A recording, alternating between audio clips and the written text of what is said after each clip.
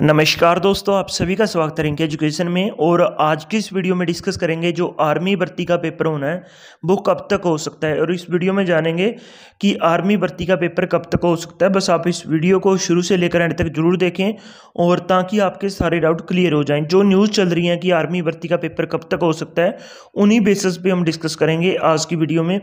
और आर्मी भर्ती का पेपर होने की जो चांसेज हैं, वो 22 मई को हैं। और बहुत सारी न्यूज़ चल रही हैं इसको लेकर कि 22 मई को आर्मी भर्ती का पेपर हो सकता है। और बहुत सारे जो आर्मी अकेडमियों के संचालक हैं, वो भी बता रहे हैं।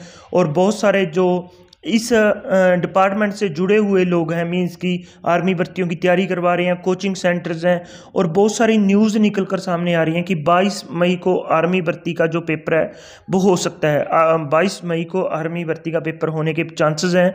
तो आप अपनी तैयारी 22 मई के हिसाब से कीजिए कि 22 मई को आर्मी भर्ती का पेपर होने के चांसेस हैं। और अभी तक कोई ऑफिशियल नोटिफिकेशन नहीं आया है, कोई वेबसाइट पर जानकारी नहीं आई है कि आर्मी भर्ती का पेपर कब होगा और कोई भी सरकार द्वारा इसके बारे में नहीं बताया गया कि आर्मी भर्ती का पेपर कब होगा, ना जो आर्मी की ऑफिशियल वेबसाइट पर बताया गया कि आर्मी भर्ती का पेपर कब होगा। सरकार की तरफ़ से कोई जानकारी नहीं है बट जो जो न्यूज़ निकल कर सामने आ रही हैं, उनसे यही चांसेस हैं कि 22 मई को आर्मी भर्ती का पेपर निकल कर जो होने के चांसेस हैं। तो न्यूज़ से यही पता चलता है जो खबरें निकल के आ रही हैं और जो तो हम मान सकते हैं कि 22 मई को आर्मी भर्ती का एग्ज़ाम हो सकता है।